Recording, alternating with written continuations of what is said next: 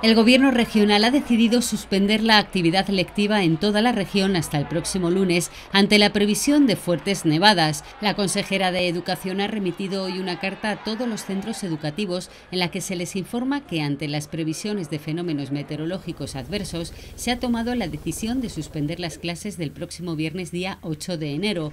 Quedan por tanto suspendidas todas las actividades escolares complementarias o extraescolares en todos los centros educativos hasta el próximo lunes día 11 de enero. Las previsiones apuntan a que las nevadas pueden ser muy abundantes en toda la región a partir de primera hora del viernes.